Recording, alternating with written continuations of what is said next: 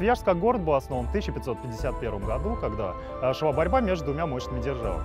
Эти державы нам прекрасно известны. С одной стороны Московское государство, с другой Казанское ханство. А походы взаимные следовали бесконечные, как казанцы посещали Московское государство, так и русские войска проводили походы на Казань.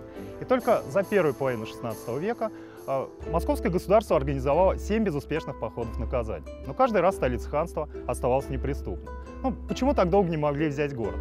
Главная причина заключалась даже не в крепости стены, не в сопротивлении защитников, хотя казанцы всегда героически сражались. А главная причина заключалась в расстоянии. Ну, э, все казанцы хоть раз в жизни наверняка, многие ездили в Москву, это 800 километров, и сегодня до Москвы на поезде можно добраться за 12 часов. Но в 16 веке тот же путь занимал долгие недели, а то и месяцы. Все это время войско нужно было кормить, поить, снабжать прочими припасами, а взять их было негде, потому что русских крепостей возле Казани еще просто не было. Если осада Казани затягивалась, то войско начинало голодать в прямом смысле слова. Ну и, соответственно, поход необходимо было срочно прекращать. Но когда Иван IV, более известный в народе как Иван Грозный, принимает решение строить здесь крепость, встает вопрос, как ее построить, если до Казани всего 30 километров. То есть понятно, если просто так э, пригнать строителей, начать работы, то э, власти Казани, которые будут поблизости, они так просто за этим наблюдать не будут. Поэтому требуется придумать какое-то очень нестандартное решение. Это решение было найдено, потому что при строительстве Свияжска была проведена уникальная операция, аналогов которой, я сейчас не побоюсь этого слова, не было во всей мировой истории. Огромную деревянную крепость, превосходившую по размерам даже московский Кремль того времени, собрали не возле Казани, а за тысячи километров отсюда, у города Углич на Верхней Волге. За одну зиму десятки тысяч мастеров по царскому приказу уходят в лес, собирают огромную крепость, и как только на реке растаял лед весной 1551 года, уже готовый город разобрали, бревнышки связали плоты и сплавили вниз по реке. И здесь, на новом месте, Свияж собрали всего за 4 недели. То есть настолько быстро все произошло, ну, э, в Казани просто не успели отреагировать на происходящее.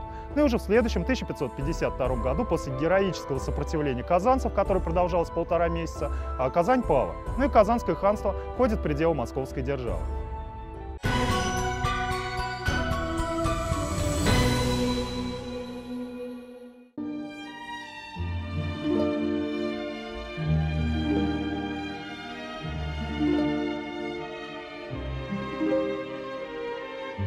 После присоединения а, Казанского ханства к Москве Свияжск переживает период расцвета.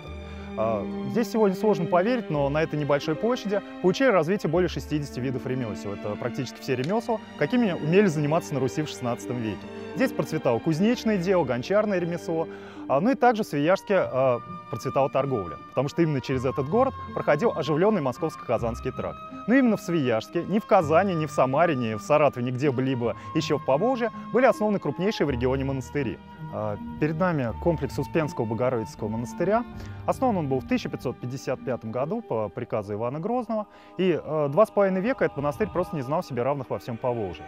Был он одним из крупнейших, а, в общем-то, богатейших и самых значимых монастырей региона. Ну и Успенский монастырь был одним из тех мест, откуда начиналось распространение христианства на поволжских землях. А сегодня на территории а, монастыря сохранились храмы XVI века, которые являются древнейшими каменными храмами а, Среднего и Нижнего Поволжья. И один из них, Успенский собор, это вообще уникальный храм. Там сохранился полный цикл фресковой росписи эпохи Ивана Грозного. То есть это означает, что все фрески выполнены именно в правлении этого царя, а среди них есть несколько абсолютно уникальных, которых не, все, не встретить больше ни в одном другом храме нашей страны. Ну и, наверное, одной из самых необычных фресок является фреска Ивана Грозного. То есть в Успенском соборе царя изобразили еще при жизни. Причем не просто в храме его изобразили, а его изобразили в алтаре. То есть это та часть храма, куда, кроме священников-то, и заходить никому больше нельзя. Ну, сделано это было для того, чтобы подчеркнуть божественную природу царской власти, потому что монарха воспринимали как помазника или наместника Бога на земле.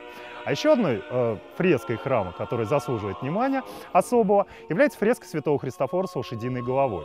А, с 17 века подобные изображения на Руси попали под запрет. Большинство таких фресок замазали, перекрасили на обычные человеческие лица. Но э, с нашей свияжской фреской такого, к счастью, не произошло. Она сохранилась в первозданном виде. Ну и в том числе, благодаря этим уникальным фрескам, комплекс Богородицкого монастыря был э, включен в список объектов всемирного наследия ЮНЕСКО.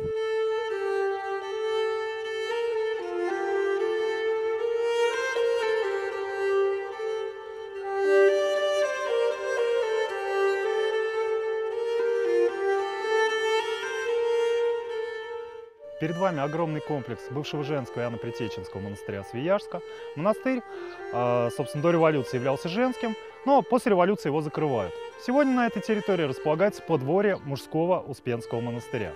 А, на территории Анно-Притеченского монастыря сохранились три храма, и один из них является древнейшим храмом не только Свияжска, но и всего а, Среднего Поволжья. Это деревянная Троицкая церковь 1551 года, она ровесница Свияжска и еще помнит времена Ивана Грозного. Ну и также на территории Анно-Притеченского монастыря находится самый большой и, возможно, самый красивый Свияжский храм. Это огромный собор во имя иконы Богородицы «Все скорбящих радость». Он был построен по проекту казанского епархиального архитектора Федора Малиновского, которого называют архитектором музыкальных храмов, потому что все его церкви и соборы отличаются потрясающей акустикой. И вот благодаря акустике э, Свияжского собора здесь каждый год проводят фестивали э, церковной музыки и хорового пения «Музыка веры».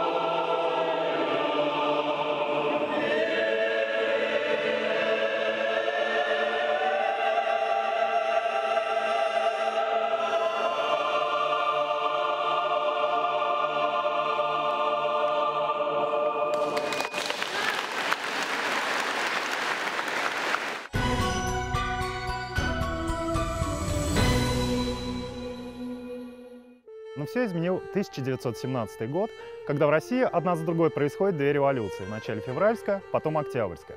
А по итогам Октябрьской революции к власти в стране приходят большевики, и они начинают ожесточенную борьбу с религией. Эта политика приводит к тому, что все храмы и монастыри Свияжска закрываются, а на их месте стали размещать мрачные тюремные учреждения. И можно сказать, что в советский период Свияжск из паломнического центра общероссийского значения превращается в место скорби и печали. Потому что в разные годы здесь находились такие учреждения, как колония для малолетних преступников, колония для взрослых, отделение психиатрической больницы Республики Татарстан, больница для хроников, безнадежно больных пациентов. Кроме того, здесь находились несколько интернатов, школа для слепых детей и так далее. Но что касается Успенского монастыря, вот возле которого мы сейчас с вами стоим, закрыт он был уже в начале 20-х годов. А в конце 20-х здесь разместили колонию для малолетних преступников. В конце 30-х годов ее меняет колония для взрослых НКВД, которая вошла в систему сталинского ГУЛАГа. Режим содержания в этой колонии был очень суров, и это не пустые слова, потому что многие заключенные просто не доживали до собственного освобождения. Судили политических заключенных, которых здесь были большинство, по статье 58 Уголовного кодекса РСФСР. Это антисоветские преступления. Ну и главное преступление, ну, наверное, самое распространенное, это а, неосторожно сказанное слово в адрес властей или анекдот. То есть такие преступления э, спокойно можно было получить э, более пяти лет лишения свободы. Ну, также вы видите перед собой вот такие вот достаточно мрачные кадры, это деревья, между которыми появляются э, фотографии заключенных. Дело в том, что хоронили их не только вдоль стен Успенского монастыря, также большое захоронение было обнаружено в небольшом лесу возле Свияжска. Да, мы находимся в камере сталинской тюрьмы Свияжска. А, собственно, по сравнению с дореволюционной тюрьмой, тюрьмой здесь много общего. То есть те же самые нары. Единственное, обратите внимание, вот на стенах а, представлены отпечатки людей. То есть они характеризуют то, сколько здесь одновременно людей могло находиться. То есть порой скучность здесь была очень-очень высока. И, наверное, самым интересным экспонатом в этом зале является вот эта вот дверь. Потому что это подлинная дверь, которая в 40-е годы 20 века вела в одной из тюремных камер Свияжской тюрьмы. Вот обратите внимание, у нее есть такой вот, э, такая вот дверца посередине, это окошко, через которое надзиратели заключенным подавали пищу. Ну а глазок — это вот за тем, чтобы наблюдать за тем, что происходит в камере. А любопытно, что эта дверь после того, как колонию отсюда перевели в конце 40-х годов, она еще вторую половину 20 века продолжала работать. Потому что на месте колонии в этих стенах разместили интернат для детей с задержками в развитии, а дверь обшили дополнительным материалом, но она продолжала, собственно, открываться и закрываться, уже обслуживая э, детей. Но после того, как интернат закрылся, э, дверь э, исследовали, и оказалось, что вот такой у нее есть секрет. Ну, сегодня в нашем музее.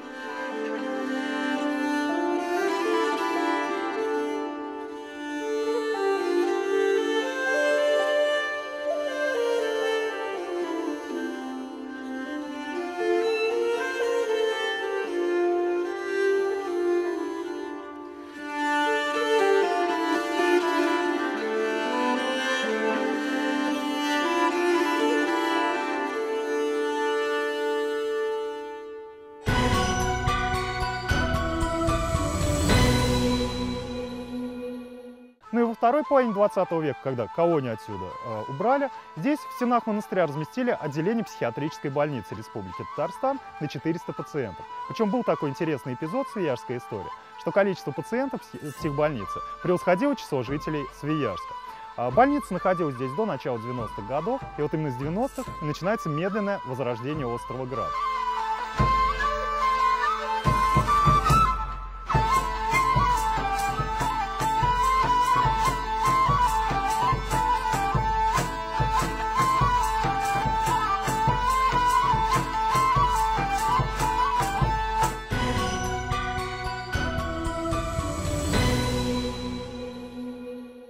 А перед вами находится несколько очень интересных зданий. Вот эти здания из красного кирпича – это бывшие казармы пересыльной команды конца 19 века.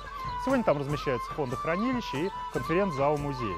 А правее, чуть вдалеке увидите два деревянных здания с бордовыми крышами. Это комплекс земской больницы второй половины 19 века. Сегодня в них размещаются реставрационные мастерские музеи. А вот прямо на перекрестке с деревянным забором вы видите небольшие деревья. Это новый сад музея истории Свияжска. Сад необычный, поскольку яблони привезли из Ясной Поляны. Это имение Льва Толстого. Сделали это не случайно, а все потому, что в 18 веке прадедушка Льва Толстого, Андрей Толстой, являлся свияжским воеводой. Он управлял городом и его окрестностями.